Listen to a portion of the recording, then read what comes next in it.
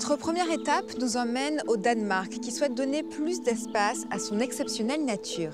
Léa Vermelin, ministre de l'Environnement, nous raconte ce projet. Il semble évident qu'au Danemark, nous avons une crise liée à la nature. Nous avons besoin d'espace. Nous avons une responsabilité envers la nature. Nous en faisons partie. Nous voulons dédier plus d'espace à la nature sauvage, comme celui où nous nous trouvons.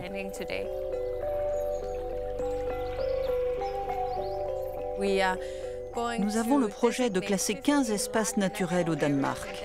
Notre objectif principal, c'est de valoriser la nature sauvage.